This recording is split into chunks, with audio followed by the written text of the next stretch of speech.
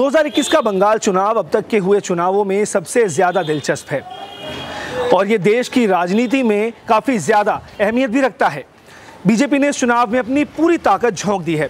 प्रधानमंत्री से लेकर अलग अलग राज्यों के मुख्यमंत्रियों ने यहाँ पर कई जनसभाएँ की हैं। टीएमसी भी इस चुनाव में किसी तरह की कोई कसर छोड़ना नहीं चाहती है। नमस्कार दोस्तों, आज के इस वीडियो में हम बात करेंगे बंगाल चुनावों के बारे में। कौन कौन सी पार्टियाँ चुनावी मैदानों में हैं और आखिरकार किस पार्टी की जीत होगी और पलड़ा किस की तरफ़ झुकता हुआ नज़र आ रहा है? हम अपनी इस खास वीडियो में इन तमाम चीज़ों को लेकर बात करेंगे।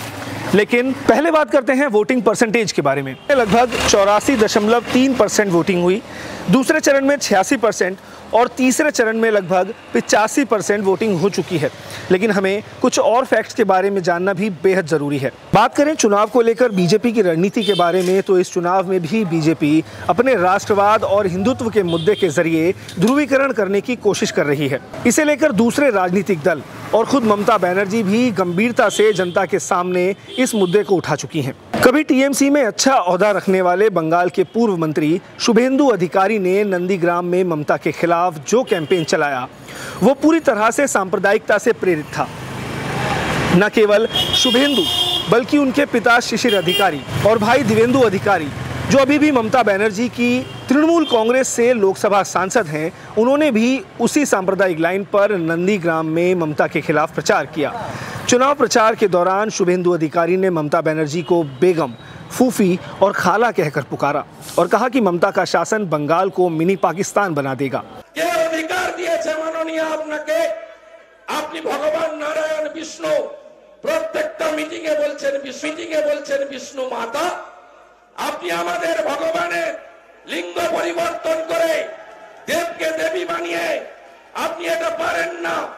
আপনি সনাতন হিন্দু ধর্মকে অপমান করতে পারেন না। আপনি সরস্বতী পূজার মন্ত্র বলছেন, কুচভূষ বিনা রঞ্জিত। আপনি পারেন না বাগদেবী সরস্বতী মা, তার মন্ত্র ভুল বলতে। আপনি ভুল চণ্ডী পাঠ করছেন, আপনি তো কলমাটা ভুল পড়েন না। কয়েকদিন আগে ইল্লাল্লাহ মোহাম্মদ রসুল্লাহ আপনি কলমা ভুল পড়েন না। কিন্তু হিন্দুদের মন্ত্র ভুল পড়েন আমরা এগুলো চাই না 2016 में शुभेंदु ने इन्हीं अल्पसंख्यक लोगों का सपोर्ट लेकर चुनाव जीता था लेकिन आज उन्हीं वोटर्स को वो आउटसाइडर कह रहे हैं हैरानी की बात यह है कि 2016 के विधानसभा चुनाव में ममता ने उन्हें मुस्लिम बहुल जिले मुर्शिदाबाद में एक एक काम की जिम्मेदारी दी थी ये एक ऐसा काम था जिसमें टीएमसी को मुस्लिम मतदाताओं को कांग्रेस से दूर करके अपनी पार्टी में शामिल करना था नंदीग्राम में कुल 350 मतदान केंद्रों के साथ दो प्रशासनिक ब्लॉक हैं। 2011 की जनगणना के अनुसार नंदीग्राम के ब्लॉक एक में मुसलमानों का हिस्सा 35 फ़ीसदी है और ब्लॉक दो में 12 फ़ीसदी।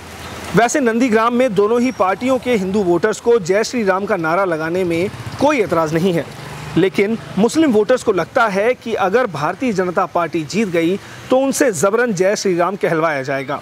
यही वजह है कि ऐसे भी कई वोटर्स हैं जिन्होंने कभी टीएमसी को वोट नहीं किया, लेकिन इस बार बीजेपी को रोकने के लिए टीएमसी की तरफ़ जा रहे हैं। जहाँ बांग्ला कविताओं और साहित्यों के ज़रिए एकता का संदेश दिया जाता है, वहीं ऐसा पहली बार हो रहा है जब बंगाल सांप्रदायिक ध्रुवीकरण पर आधारित चुनाव देख रहा है। वहीं वामपंथी समर्थकों का बीजेपी में शामिल होना भी इस चुनाव को काफ़ी ज़्यादा दिलचस्प बना रहा है। अगर हम स्थानीय मतदाताओं की माने तो उनके मुताबिक 2011 के बाद से लेफ़्ट के पास कोई नेतृत्व नहीं है और ये वो लोग हैं जो टीएमसी को बिल्कुल पसंद नहीं करते। यही वजह है कि ये सारे के सारे समर्थक बीजेपी की तरफ़ शिफ्ट हो रहे हैं। इन दिनों एक नारा काफ़ी ज़्यादा इस्तेमाल किया जा रहा है, वो है पहले वाम, अब राम। बीजेपी ने इस चुनाव में बेरोजगारी भ्रष्टाचार और कई इलाकों में गुंडागर्दी का मुद्दा मुख्य रूप से उठाया है। बीजेपी का दावा है कि इस चुनाव में टीएमसी के खिलाफ स्पष्ट रूप से एंटी इनकम्बेंसी नज़र आ रही है। 2006 में लेफ़्ट फ्रंट का वोट शेयर 50 परसेंट था और 2011 में यही वोट शेयर 40 परसेंट हो गया। इसके बाद 2016 में ये वोट शेयर 26 परसेंट ही रह गया। अगर बात करें बीजेपी की तो 2016 में बीजेपी की लगभग ना के बराबर कुल तीन सीटें थी। लेकिन उनका वोट शेयर 10 फ़ीसदी तक पहुँच गया था। लेफ़्ट फ्रंट को जनता ने कितनी बुरी तरह नकारा था, इस बात का अंदाज़ा आप यहीं से लगा सकते हैं कि साल 2004 में लोकसभा चुनावों में लेफ़्ट की 35 सीटें आई थी। लेकिन साल 2019 में लेफ़्ट को एक भी सीट नहीं मिली थी। वहीं बीजेपी को 2019 के लोकसभा चुनावों में ज़बरदस्त जीत हासिल हुई थी। राजनीतिक विश्लेषकों का मानना था कि लेफ़्ट का 22 परसेंट वोट शेयर बीजेपी के खाते में ट्रांसफ़र हो गया। और टीएमसी का दावा था कि इस दौरान उनका वोट शेयर एक परसेंट भी कम नहीं हुआ। जहाँ 2004 के लोकसभा चुनावों में बंगाल में बीजेपी को एक भी सीट हासिल नहीं हुई थी, वहीं 2019 के लोकसभा चुनावों में बीजेपी को मिली 18 सीटें। वोट शेयर था 40 परसेंट से भी ज़्यादा। ये नतीजा आते ही ये बात साफ़ हो गई थी कि अगले चुनावों में टीएमसी के सामने बंगाल में अगला विरोधी बीजेपी ही होगा। एक दिलचस्प आंकड़ा ये भी है कि 2019 में हुए लोकसभा चुनावों में अगर जीती हुई सीटों का विश्लेषण किया जाए तो टीएमसी विधानसभा सीटों के लिहाज से एक सौ बासठ सीटों पर आगे थी और बीजेपी 121 सीटों पर। ये जो आंकड़े अभी आपने देखे, ये बताते हैं कि कुछ वोटर्स तो कई पार्टियों के कट्टर समर्थक हैं, लेकिन एक बड़ी संख्या में ऐसे वोटर्स भी हैं जो किसी भी वक्त स्विंग या फ्लोट कर सकते हैं। लेकिन हाँ चुनावों के हिसाब से मतलब लोकसभा चुनाव, विधानसभा चुनाव और निगम चुनाव, इन तीनों चुनावों के हिसाब से अलग अलग समय पर ये वोटर स्विंग और फ्लोट कर सकते हैं। 2019 के लोकसभा चुनावों में बीजेपी का जोरदार प्रदर्शन ये बताता है कि लेफ़्ट समर्थक वोटर्स ने टीएमसी के खिलाफ या फिर उनके विरोध में बीजेपी के पक्ष में वोट किया। इतना ही नहीं लेफ़्ट नेताओं का एक बड़ा तबका जो चुनावी महीने में या उससे कुछ समय पहले बीजेपी में शामिल हुआ। उन्हें बीजेपी ने कई महत्वपूर्ण सीटों पर चुनाव मैदान में उतारा, जैसे शंकर घोष, जो कभी दिग्गज लेफ़्ट नेता अशोक भट्टाचार्य का दाहिना हाथ माने जाते थे। शंकर घोष लेफ़्ट विंग की दो यूथ विंग एसएफआई और डीवाईएफवाई के डिस्ट्रिक्ट सेक्रेटरी रहे हैं। इसके अलावा सिलीगुड़ी म्यूनिसिपल कॉरपोरेशन में भी कई महत्वपूर्ण पदों पर रहे हैं। और सीपीएम की दार्जिलिंग डिस्ट्रिक्ट कमेटी में भी अहम ज़िम्मेदारी संभाल चुके हैं। ये सब बताना ज़रूरी इसीलिए था क्योंकि बीजेपी ने शंकर घोष को ही अशोक भट्टाचार्य के खिलाफ सिलीगुड़ी सीट से टिकट दिया है। लेफ़्ट के काउंसलर रहे रिंकू नौशकोर ने भी बीजेपी ज्वाइन की और जाधवपुर सीट से चुनावी मैदान में है। इनके अलावा सीपीआईएम की पूर्व सदस्य तापोशी मोंडोल ने 2020 में बीजेपी ज्वाइन की और अब हल्दिया सीट से चुनाव भी लड़ा है। राजनीतिक जानकारों को यह लगता है कि आइडियोलॉजिकल पॉलिटिक्स से कम्युनल पॉलिटिक्स का जो बदलाव इस चुनाव में नज़र आ रहा है, वो बेहद शर्मनाक है और विकासशील राजनीति के लिए अच्छी स्थिति नहीं है। बीजेपी ने टीएमसी पर तीन पॉइंट्स में निशाना साधा है। माइनॉरिटी, तुष्टिकरण और लोकल लेवल पर पैसों का एक्सटॉर्शन। इसके अलावा बीजेपी ने कहा है कि बंगाल में डबल इंजन सरकार आएगी, जिससे केंद्र और राज्य में अच्छा कोऑर्डिनेशन होगा और इससे राज्य का विकास भी होगा। जब बीजेपी टीएमसी पर भ्रष्टाचार के आरोप लगाती है तो हमें नारदा स्टिंग ऑपरेशन भी याद आता है। लेकिन दुख की बात यह है कि स्टिंग ऑपरेशन में रिश्वत लेते हुए नज़र आ रहे लोग अब बीजेपी में सीनियर पदों पर बैठ चुके हैं, जैसे मुकुल रॉय, शुभेंदु अधिकारी, शंकुदेव पांडा शोभन चैटर्जी वगैरह वगैरह। हालाँकि शोभन चैटर्जी ने टिकट बंटवारे के बाद पार्टी से रिजाइन दे दिया है।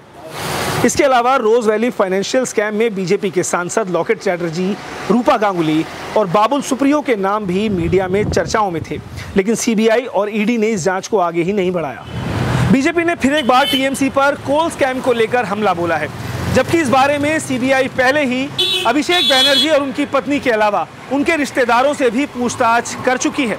इसी मामले में ईडी ने पश्चिम बंगाल के एक पुलिस अधिकारी अशोक मिश्रा को इलेक्शन से ठीक पहले गिरफ़्तार भी कर लिया है। बीजेपी ने आरोप लगाया कि अभिषेक बैनर्जी को कोल स्मगलिंग से 900 करोड़ रुपए मिले हैं। इस आरोप के जवाब में अभिषेक बैनर्जी ने एक ट्वीट किया। इस ट्वीट में लिखा है, सारी की सारी कोयला संपदा सीधे सीधे केंद्र सरकार के अंतर्गत आती है। अगर बीजेपी को लगता है कि टीएमसी के नेताओं ने कोल माफियाओं से पैसा लिया है तो सभी कल्पिट्स के खिलाफ कार्रवाई क्यों नहीं करती जो राष्ट्रीय संपदा की रक्षा करने में फेल हुए? उन्हें कौन रोकता है कार्रवाई करने से? ये बहुत हैरान करने वाला है कि बीजेपी कहती है कि कोल मिनिस्ट्री और होम मिनिस्ट्री के अधिकारी अपने बॉसेस का ऑर्डर लेने के बजाय टीएमसी का ऑर्डर फॉलो कर रहे हैं। कई राजनीतिक पार्टियों का यह आरोप है कि केंद्र सरकार, ईडी, सीबीआई, एनआईए और इनकम टैक्स जैसी केंद्रीय एजेंसियों का इस्तेमाल गलत तरीके से अपनी विरोधी पार्टियों के खिलाफ कर रही हैं, जिससे कि ये तमाम विरोधी पार्टियाँ कमज़ोर होती जा रही हैं। इसी से जुड़ा एक उदाहरण हमारे पास है। दरअसल 12 साल एक पुराने केस को उठाया गया। ये केस था साउथ बंगाल के एक बड़े नेता छत्रधर महतो के खिलाफ। इस केस में बाकायदा एनआईए ने छत्रधर महतो को गिरफ़्तार कर लिया। जब इस बारे में गृह मंत्री अमित शाह से सवाल पूछा गया एक प्रेस कॉन्फ्रेंस के दौरान तो उन्होंने सवाल का जवाब तो नहीं दिया, बल्कि इस सवाल को टाल दिया।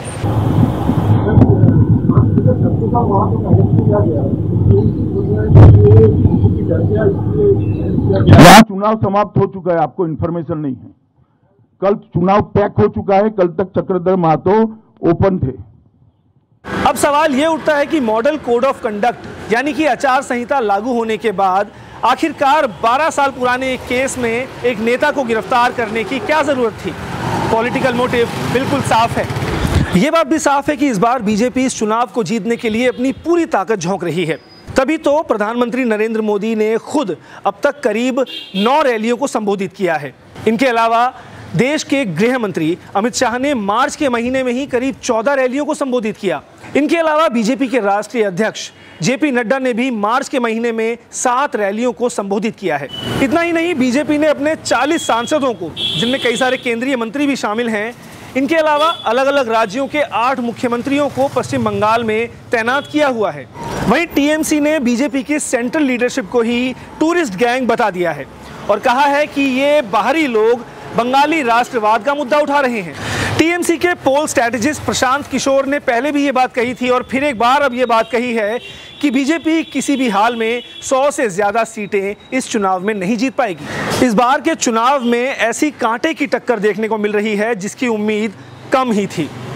अब देखना यह होगा कि इस बार बंगाल में आशोल परिवर्तन आता है या फिर घौरेर में, यानी घर की बेटी तीसरी बार सत्ता में काबिज होगी।